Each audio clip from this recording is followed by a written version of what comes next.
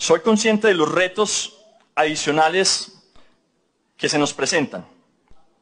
Uno de ellos tiene que ver con un Emilicon. En relación a un Emilicon, tenemos que reevaluar nuestra posición de socios pasivos en esta sociedad.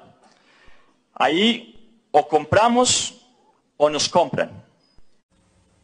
Como presidente de la Liga de Usuarios de Servicios Públicos Domiciliarios, hoy participo haciendo defensa de la propiedad pública EDPM, porque en el plan de desarrollo está enunciado en, en el capítulo de presupuesto como venta de activos, otras fuentes estratégicas alternativas.